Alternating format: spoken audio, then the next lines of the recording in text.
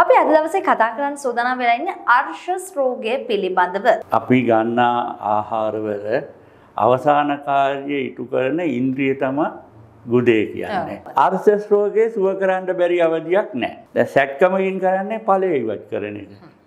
අපි කරන්නේ හේතුව ඉවත් කරන එක. දරුවෙක් කුසට එනකොට මවට හෝ පියාට අර්ශස් තිබුණොත් උප්පත්තියෙම දරුවට ඒක යන්න ඉඩ තියෙනවා. අර ඉබේ ගිය ගෙඩි පොකුර අතින් තල්ලු කරන්න ඕනේ. එතකොට මේ තෙල් එක සති හතර දානකොට සියල්ලම හොඳ වෙලා නිරෝගී බවට පත් වෙනවා.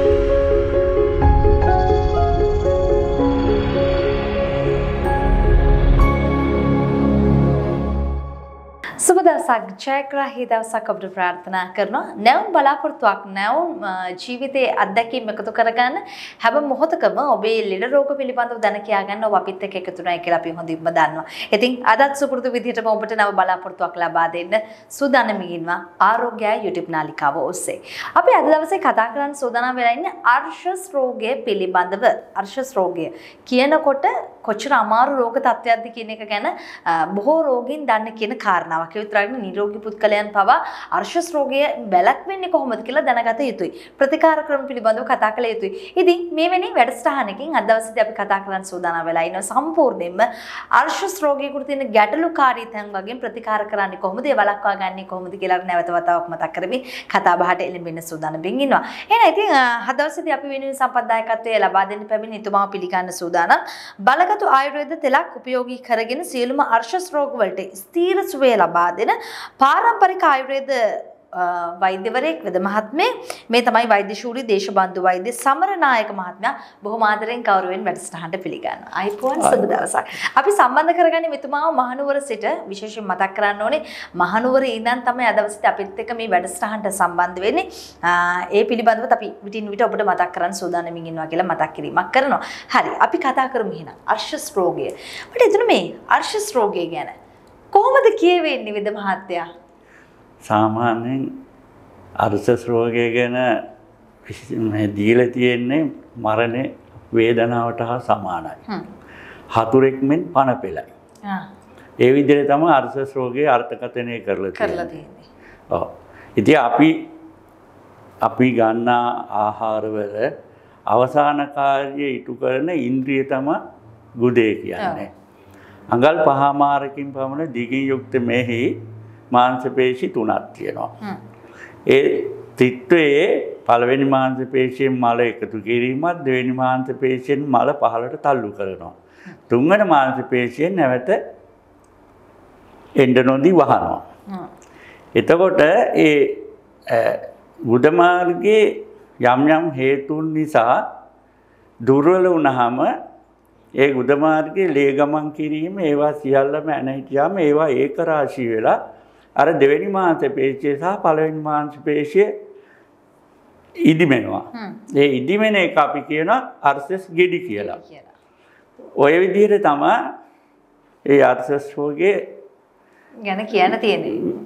විකාශනය වෙන්නේ. හරි. අපි ඉන්න අනතුරුව කතා කරමු අර්ශස් රෝගය හැදෙන්න හේතු මොනවද කියලා. ඇත්තටම ඇයි අර්ශස් රෝගය හැදෙන්නේ විද මහත්තයා? අර්ශස් රෝගය හැදෙන හේතු හතරක් පෙන්නනවා. පළවෙනි එක මේක හුඟක් තරුණ දෙමාපියෝ දැනගත යුතුම දෙයක්. දරුවෙක් කුසට එනකොට මවට හෝ පියාට අර්ශස් තිබුණොත් උප්පත්තියෙම දරුවට ඒක යන්න ඉඩ තියෙනවා. ජානමය සාධක. ජානමය. මගේ ළඟට එන තරුණ දෙමාපියන්ගේ දරුවන්ගෙන් 180කට විතර ඒ රෝග තත්ත්වය තියෙනවා පෙන්눔 කරන ආරම්භයේදීම. දෙවනුව ගර්භණී සමයේ හෝමෝන වෙනස් වීමත් එක්ක මේ අර්ශස් හැදෙනවා. ওই අම්මලාට හරියට බබාලා හම්බ වෙනකොට අර්ශස් හැදිලා තියෙනවා. ඒගොල්ලෝ බබාලා හම්බුනාට පස්සෙත් බොහොම දුක් විඳිනවා. තුන්වෙනුව ශරීරගත පිළිකාවක් තියෙනවා නම් අර්ශස් තියෙනවා. ඒවා අපි කියපුවා නෙමෙයි. පුරාණ වෙද පොත්වල තියෙන එක. හතරවෙනි එක තමත් ගොඩක් වැදගත්. මේ තරුණයෝ හිතනවා ඇයි මගේ අම්මා තාත්තටත් අර්ශස් නැත්තම් පවුලේ කාටවත් අර්ශස් නැත්තම් මට හැදුනේ කොහොමද කියලා. තරුණ වියන්ට එළඹීමත් එක්ක අපි වෘත්තියක් කරනකොට එක දිගට හිටගෙන ඉන්නවා ඉඳගෙන ඉන්නවා බර උසුලනවා ඒ වාගේ ක්‍රියාකාරකම් කරනවා. ඒ අතරවාරි වර්තමාන තරුණ පරපුර තෙල් බහුල ආහාර උදේට මොනවා හරි චුට්ටක් කාලා වැඩට යනවා. වතුර පාවිච්චිය අඩුයි. රසකාරක ආහාර වර්ග බහුලයි. ඒවා වැඩියෙන් භාවිතා කරනවා. කොත්තු ප්‍රයිස් කියලා. ඊළඟට මත්පැන් පානය කරනවා. ඔය ක්‍රියාවලිය තුලදී ගුඩමාර්ගයේ ක්‍රියාවලිය එන හිටිනවා. එයාට සාර්ථක ක්‍රියාවලියක් දෙන්න කෙඳි සහිත ආහාරයක්වත් මොනවත් නැහැ. එතකොට ඒ අයට අර්ථස් හැදෙනවා. හ්ම්. ওই විදිහට තමයි අර්ථස් හැදෙන කාරණා. කාරණා හතර. හරි. දැන් අර්ශස් හදන කාරණා හතර පිළිබඳව දැන කියා ගත්තානේ. දැන් හිතෙන්න පුළුවන් ඔය කියන ඕනම කාණ්ඩයකට අපිව අයිති වෙන්න පුළුවන්. කියන්නේ බොහෝ දෙනෙකුට අර්ශස් රෝගය හැදෙන්නේ හේතු කාරණා හොයනකොට මේ බහුලව දකින්න හේතුවත් ඔන්න ඕකයි කියලා එක අපිට පැහැදිලි. ඊට අනතුරු කතා කරමු මේ අර්ශස් රෝගයේ තියෙනවද විශේෂ වර්ග? ඒ කියන්නේ වර්ෂ- වර්ග විදිහට? අර්ථස් වර්ග කීපයක්ම තියෙනවා. සමාජයේ බහුලව දැකිය හැක්කේ අභ්‍යන්තර වියලි අර්ථස්. ආහා. අභ්‍යන්තර ලේ අර්ථස්. තෙත අර්ථස්. ඔය අර්ථස් වර්ග තුන. බහුලයි. ආය බාහිර එළියෙන් ගැට්- ගෙඩි- ගැටිති තියෙනවා. ආය තව තියෙනවා බගන්තරා කියලා. ඒක නම් ඉතින් කර්ම ලෙඩක්ම තමයි. තට්ටමේ ගෙඩියනවා. ආහා. ගුඩ මාර්ගයෙන් හිලක් හැදිලා අතුරු මාර්ගයක් හදාගෙන තට්ටමෙන් එළියට එනවා. ඒකෙන් නිතරම සාරය යනවා තෙත ගලනවා ඒක.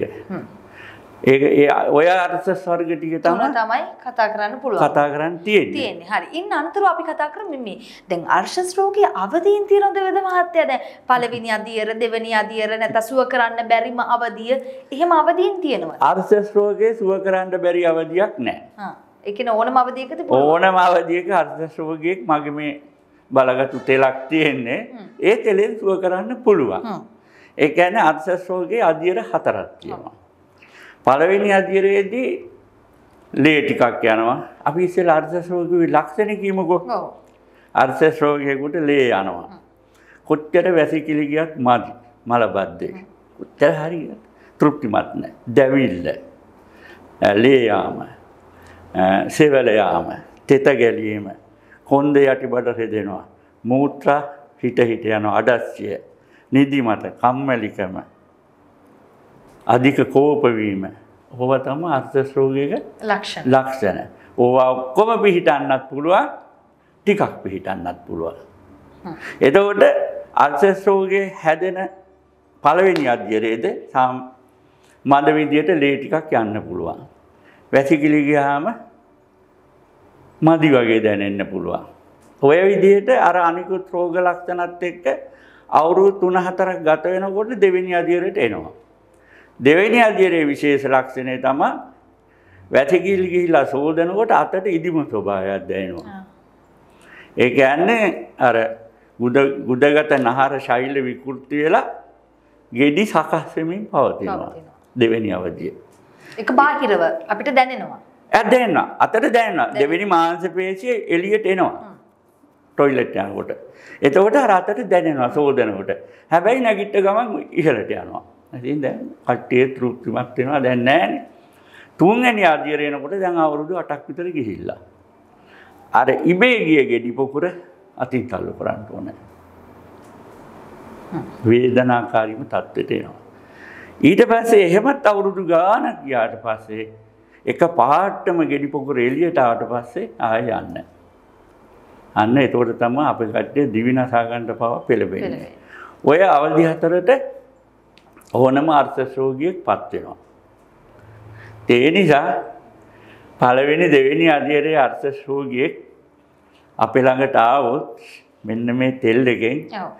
සති 4යි 6යි. විශේෂ බෙහෙතක් පිළිබඳව අපිට කතා කරන්න පුළුවන්. ඒ බෙහෙත තමයි අර්ශස් රෝගීන් වෙනුවෙන්ම වෙන් කරලා තියෙන මේ වෙද මහත්මයාගේ අතින්ම හැදෙන පාරම්පරික වෛද්‍ය ක්‍රමය අනුව සෑදෙන්නා වූ තෙල. අපි මේ ගැන කතා කරමු. මේ තමයි මේ අපි කතා කරන තෛලයේ විශේෂත්වය බටගල්. බටගල්ලේ මහා අර්ශසාරී තෛලය. තෛල. අපේ ආයුර්වේද පරම්පරාවේ ගම. හරි අපිට කතා කරමු නේද ඒක? ඔව්. කොහොමද හඳුන්ලා දෙන්න පුළුවන් වෙන්නේ මොනවද අන්තර්ගතය? මේ- ඔව්, මේ ඒතර තෙල් එක-? මේ තෙල් එක උදේ සවස ගුඩ මාර්ගයට ඇතුල් කරන්න ඕන. අපේ ළඟ නිශ්චිත ප්‍රමාණයක් තියෙනවා ඇතුල් කරන්න ඕන පුළුන් කෑල්ලකි නෑ නෑ නෑ නෑ අති ඒක නෑ ඒකට තියෙන වෙනම වස්ති බටයක් ඒකෙන් උදේ හවස පස්ස පැත්තට ඇතුල් කරන්න ඕන. ටොයිලෙට් ගිහිල්ලා වෙල්ලයි නිදාගන්න ලෑස්තිලයි. එතකොට අර තියෙන සියලුම රෝග ලේයාම දැවිල්ල මලවද්දේ බඩපුරුවා දැමීම හැම දෙයක්ම ක්‍රමක්‍රමෙන් ක්‍රමක්‍රමෙන් අඩුවෙල යන. අ- දෙවෙනි මමයි මම කතා කරන්නේ දෙවෙනි අදියර දක්වා. දෙවෙනි අදියර වගේ වෙනකොට රෝගීන්ගේ මල පිට වෙනකොට ඇතුලේ ගෙඩි සකස් වෙලා කියලා හොඳට හොයන්න පුළුවන්. ඒගොල්ලන්ට මල පිට වෙන්නේ පටි වගේ. සාමාන්‍යයෙන් රවුමට යන්නේ නිරෝගී කෙනෙකුට. මේගොල්ලන්ට යන්නේ පටි වගේ. එතකොට මේ තෙල් එක සති හතර දානකොට සියල්ලම හොඳ වෙලා. නිරෝගී බවට පත් වෙනවා. ඉතින් මගේ ළඟට එන රෙඩ්ඩුන්ට මම කියනවා සති හතරකට තෙල් දීලා තව සැරයක් එන්න කියලා. 90ක් එන්නේ නැහැ.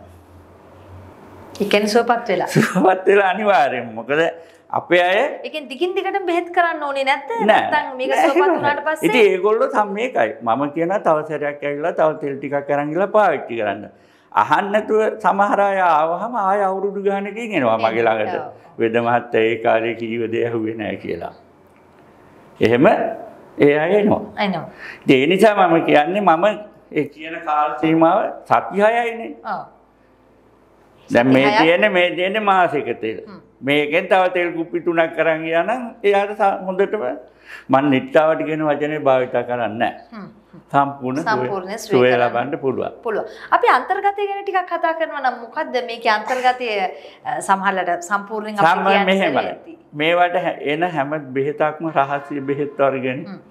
ඈ මූලික තල තෙල්. ඔව්. ඒකට එනවා අමුද්‍රව්‍ය. ඒ ඉස්මවල අරගෙන තව ඉන්දියාවෙන් ගේන තව අන් ලංකාවේ තියෙන බෙහෙත් වර්ග එකතු කරලා තමයි මේ තෙලක් හදන්නේ. එතකොට මේ ඒ අපි දැන් ඔච්චරලා කතා කරේ දෙවෙනි පළවෙනි සහ දෙවෙනි අවස්ථාවේ. රෝගියෙක් මේක පටලවා ගන්න එපා වීඩියෝ එක බලන ඔබතුමාලා පළවෙනි සහ දෙවෙනි අවස්ථාවේ රෝගියෙක් තමයි මට සති හතරක් හයකින් ස්ථිර සුවය ලබා දෙන්න පුළුවන්. තුන්වෙනි අවස්ථාව අතින් තල්ලු කරන. ඔව්. අතින් තල්ලු කරන රෝගියාට ඉස්සෙල්ලාම මූලික රෝග ලක්ෂණ ටික සුව කරලා ඉන්න ඕන. සති හතරක තෙල් ප්‍රතිකාරය දීලා අර කීව මූලික ලක්ෂණ. දැවිල්ල මලබද්දේ බඩ පුරවා දාන එක ලේ යන එක. ඒවා නවත්තනවා. ඒවා සුව හොඳට වැසිකිලියන්න දැන් ඔකේ න්‍යාය තමා අර්ථස් රෝගයකට හොඳින් මල මූත්‍රා පිට වෙන්න සලස්වා ආහාර රුචි ඇති කරනු. හ්ම්. එහෙම තමයි කියලා තියෙන්නේ. ඒ ටික තමයි අපි පළවෙනි සති හතරේ කරන්නේ. ඉතින් ඒ අය කියන වෙද මැද අඩු නෑනේ. ඔව්. මොනවද ගෙඩි. ඉතින් මම කියන මං ගෙඩි අඩු වෙනවා කියලා කිව්වේ නෑ. අනිත් ඒවා හොඳයි. ඊළඟ- තුන්වෙනි, ඔව්. හතරවෙනි ඔව්. අදියර ගැන මේ පැහැදිලි කරන්න. ආ, ඊළඟ මාසේ අර ගෙඩි බෙහෙත් පොට්ටනකින් තවල තෙල් එක දාලා ගෙඩි පුංචි කරනවා. අපිට. පෙන්වන්න විදියක් නෑ අපේ ළඟ තියෙන ෆොටෝ. ඔව්. ඊළඟ මාසේ ඉවර කරනවා. හ්ම්. එතකොට ඒ තුන්වෙනි අවස්ථාවට හරියටම සති 12ක් විතර දල වශයෙන් යනවා. හතරවෙනි අවස්ථාවේදී අර්සස් ගෙඩියම එළියේ. පළවෙනි සතිය අපි තෙල් එක දැම්මහම තෙල් බෙහෙත් පොට්ටනියෙන් තවල තෙල් එක දාලා තෙල් වලින් වැහුවාම රෝගියා ඉවසන්න බැහැ රෝගියා නැගිටලා යනවා ගෙදෙට්ට ආව ගමන්. හොඳට. සතිය හතර හතර යනකොට මොකුත්ම නැහැ. සම්පූර්ණයෙන්ම සුවයි. සැක්කම් වලට ගියා කියලා. දැන් සැක්කමකින් කරන්නේ ඵලය ඉවත් කරන එක. අපි කරන්නේ හේතුව ඉවත් කරන එක. කියන්නේ ගුඩ මාර්ගයේ දුර්වලතාවය. මාංශ පේශි වල විකෘති වෙනකොට ඒවා වෙරිකෝස් වල ඉදි වෙනවා.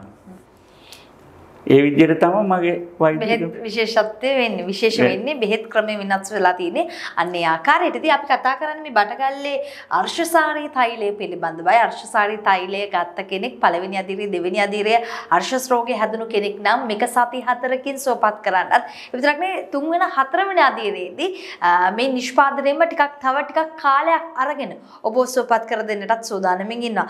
අම එහෙම ප්‍රශ්නයකුත් අහන්න දැන් බොහෝ වෙලාවට අර්ශස් රෝගේ හිතන දෙයක් තමයි මේ කාන්තාවන්ට මේ රෝග තත්ත්වය තියෙනවනම් වෙද මහත්තයා හිතනවා මේ මං කොහොමද ඇවිල්ලා මගේ මේ රෝග තත්ත්වය පෙන්වන්නේ මහත්තයෙක්ට? ඕනේ.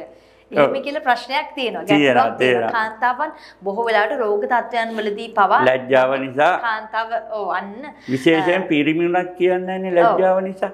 අන්න ඒක නිසා අපි කොහොමද ඒක මේ පැහැදිලි කරලා දෙන්නේ විශේෂයෙන් කාන්තාවකට ඒ සඳහා වෙනම යම් ක්‍රියාමාර්ගයකුත් අරගෙන තියෙනවා නේද ඔබතුමා? කිසි ගැටලුවක් නැහැ මගේ දුව මගෙන් පස්සේ පරම්පරාව ඇරයි යන කෙනා පාරම්පරික ලියාපදිංචි ආයුර්වේද වෛද්‍යවරියා. ඒ දුව ළඟට ඇවිල්ලා ප්‍රතිකාර ගන්න පුළුවන්. සම්පූර්ණ ඔබතුමාගේ අධීක්ෂණය යටතේ සම්පූර්ණ දුවට දීලා තියෙන්නේ. හැම දෙයක්ම එයා එයාගෙන් ප්‍රතිකාර ගන්න පුළුවන්. පුළුවන්. ඒ ඇය නිකුත් කරන්නේ මේ තෛලයමයි. මගේ දුවනේ. හරි අතරේ අපි ඉන්න අනතුරුව කතා කරන සූදානම් වෙලා ඉන්නේ කෑම බීමත් එක්ක ඔබ කොහොමද මේ රෝගී තියෙන කෙනෙක් නම් පරිස්සම් වෙන්නේ කියලා. අර්ශස් රෝගීන්ට කන්න හොඳ කෑම හොඳ නැති කෑම කියලා වර්ග කරලා තියෙනවද? කණ්ඩ හොඳ කෑම කියලා නම් නෑ නරක කෑම තියෙන උස්නාධික ආහාර. අන්නාසි අච්චාරු සැමන් ඉස්සෝදැල්ලු බලමාලු බලකරවල අඹ අන්නාසි විශේෂයෙන් මත්පැන් විසයි. ඉතින් මගේ ළඟට ප්‍රතිකාර ගන්න අය මත්පැන් පානය කරනවා නම් ඒක නවත්තලා ඉන්න ඕන බෙහෙත් ගන්න. ඔව් ඊට පස්සේ Tamanට සුදුසු කෑමක් කෑවට කමක් නැහැ. ඒකෙන් බාහිර. එහෙම නැතු අර්සස් වලට හොඳ ඉන්න වැල් කොහිල අර කොහිල මෙව්වා එහෙම අවශ්‍ය නැහැ. දැන් බොහෝ දෙනා අර්සස් හැදුනහම ඒවා පාවිච්චි කරනවා. පැපොල් වැඩියෙන් කනවා, කෙසෙල් ගෙඩි වැඩියෙන් කනවා. මොකද ඒ අයට තියෙන මූලික ප්‍රශ්නේ වැසිකිලි යන එකනේ. ඔව්. ඒක පහසු කරගන්න ඒක පහසු කරගන්න. ඒවා කොච්චර කෑවත් පහසු වෙනවා අඩුයි. අඩුයි. අනිවාර්යයෙන්ම. නමුත් අර මේ අර්ශසාරී තෛලය වගේ දෙයක් පාවිච්චි කරනවා නම් ඊට වඩා ඉක්මන් ප්‍රතිඵල ඉක්මන් කාලයක් තුළ ඔබට ලබා ගන්න පුළුවන්. අපි ඊන අනතුරු කතා කරමු දැන් ඕනම ලෙඩ රෝගයක් පිළිබඳව කතා කරලා අපි බලක්වා ගැනීමත් අතිශයින් වැදගත් කාරණාවක් ඉද කතා කරනවා. මොකද මේ වෙනකොට ඔබ නිරෝගී පුද්ගලයෙක් අර්ශස් නැති රෝගී. හැබැයි ඔබ කොහොමද දිගටම මේක පවත්වාගෙන යන්නේ? එයයි කතා කරන සූදානම් වෙන්නේ බලක්වා ගන්නේ කොහොමද? වලක්වා ගන්න නම් මං අර මුලින් කිව්වා නැති කරගන්න ඕන. හොඳට වතුර බොන්න ඕන. හොඳට උදේට බඩ පිරෙන්න මොන හරි කන්න ඕන තෙල් රහිතව අධිකන තෙල් නැතුව. ඒ ඒ විදිහේ සමබර ආහාර වේලක් අරන් ගියොත් අරස සැරෙන්නේ නැහැ. හැදෙන්නේ නැතුව. වග බලා ගන්න පුළුවන්. පුළුවන්. හරි.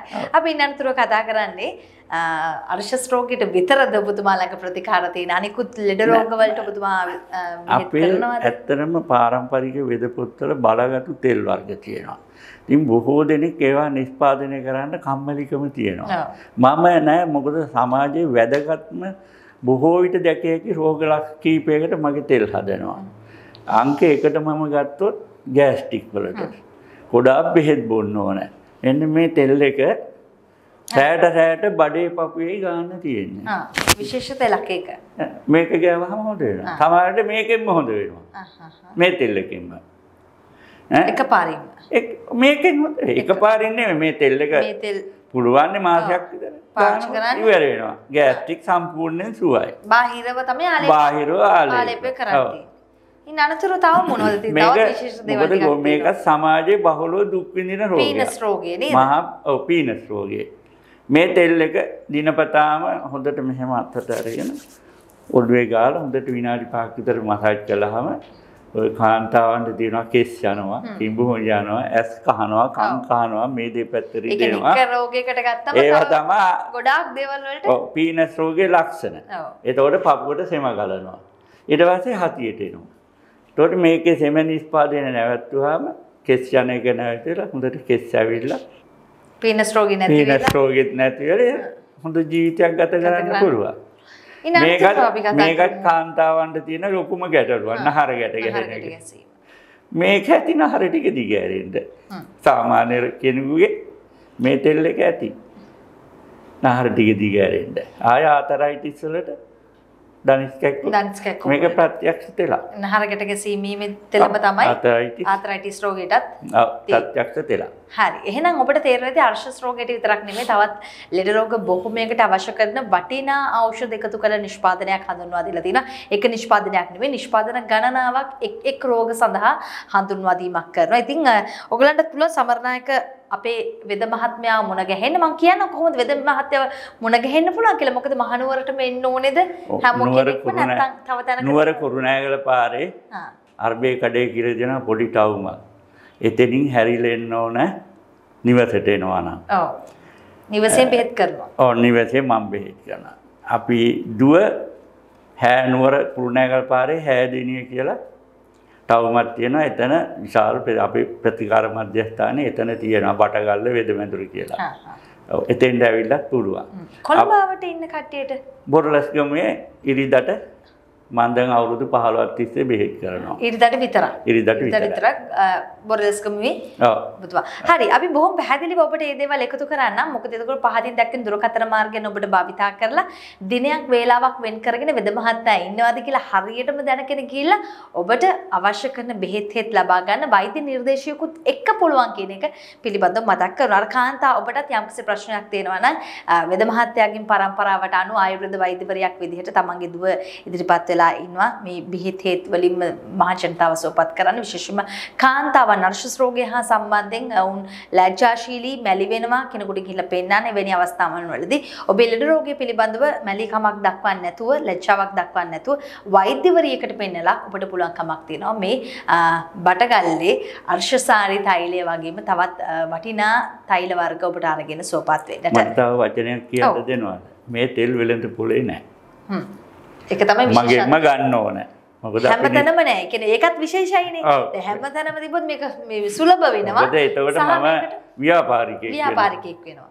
මට වෙද මහත්තෙක් වගේ තමයි අවශ්‍ය. අවශ්‍ය. ඉතින් මේක දුරස්ත පළාත්වල අයට මේවා ගෙන්වා ගන්න පුළුවන්. මේ තෙලත් මම යවනවා. හැබැයි රෝගියාගේ සම්පූර්ණ විස්තර මම අරගෙන අරගෙන. යවන්නේ.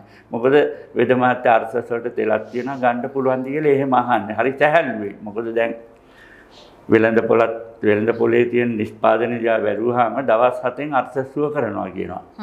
ඒක පුළුවන්ද කියන්නේ ඔබතුමියට දැන් තේරෙනවානේ. දවස් 7න් නිට්ටාවට සුවයි කියනවා. පළවෙනි අදිර දෙවෙනි අදිර යනවා නම් අ, මාසයක්. සති හතරක් සතියෙන් ඔව් කොහොමද සනීප වෙන්නේ? ඒ ගැන නිසා- යම්කිසි ඔන්න ඔයගලන්ට නිගමනයකට එන්න පුළුවන් වලින් ඔබ තොරව. වංචාවෙන් තොරව වෙදකම කරන එක තමයි වටිනාකම. වටිනාකම. හරි. එහෙම වටිනාකමක් ඇතුව වෙදහෙදකම් කරන වෙද මහත්තයෙක් එක්ක අය දවසේදී අපේ මේ වටින කියන කතා බහ යම් ප්‍රශ්නයක් ගැටලුවක් වේද නැවත වතාවක් මතක් කරනවා. ඔබට පහතින් දැක්වෙන දුරකථන මාර්ගයන් ඔස්සේ කතා කරන්න පුළුවන්. බටගල්ලේ අර්ශසාරී තෛලය පිළිබඳව දැන කියා ගන්න අපේ සමරනායක වෙද මහත්මයාට. එහෙනම් අපි ස්තුතිවන්ත වෙනවා දවසේ අපිත් එක්ක එකතු වුණාට බලගත්තු ආයුර්වේද තේලක් උපයෝගී කරගෙන සියලුම අර්ශස් රෝග වලට ස්ථීර සුවය ලබා දෙන පාරම්පරික ආයුර්වේද වෙද මහත්මයා වෛද්‍ය ශූරී දේශබන්දු වෛද්‍ය සමරනායක වෛද්‍යතුමත් එක්කයි අපේ අද දවසේදී කතා බහ එකතු කරගත්තේ. බොහොම ස්තුතියි අද දවසේ අපිත් එක්ක එකතු වුණාට. සරණයි. සුබ දවසක් තෙරුවන් සරණයි. එහෙනම් ඉතින් අපි සමුගෙන යන්නේ සූදානම් වෙලා ඉන්නේ හිතපතුනි. ඔබේ අදහස් අපිට එකතු කරන්න කමෙන්ට් එකක් විදියට. ඒ වගේම අපේ වැඩසටහන නිරන්තරයෙන්ම බලන්න කැමැත්තක් තියෙනවා. දිගින් දිගටම අපිව අනිවාර්යෙන් subscribe කරලා තියාගන්න. bell button එක click කරොත් ඉතාම ඉක්මනින් එකතු කරන වීඩියෝස් නරඹන්නටත් ඔබට හැකියාවක් තියෙනවා. එහෙනම් ඉතින් සමුගෙන යනවා ඔබට සුබ සතියක් ප්‍රාර්ථනා කරමි